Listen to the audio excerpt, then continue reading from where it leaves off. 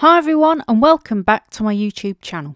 This week's Tip Tuesday is a quick look at how to add key commands in Cubase.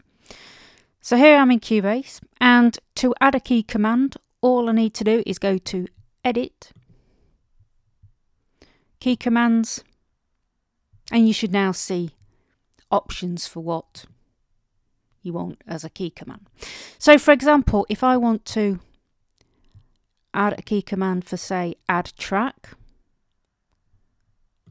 I'm going to put in, say, A.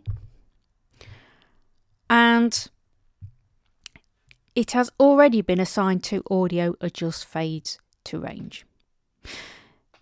Now I can either change this typing key command if I want to keep the A for audio adjust fades to range or if I'm not bothered about the key command for audio adjust fades to range, then all I need to do is keep the A and click assign.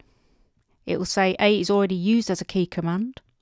Do you want to reassign this existing key command? Yes, click assign, click OK. So now if I press A, I get, I can now add an audio track. I hope this helps and thank you for watching.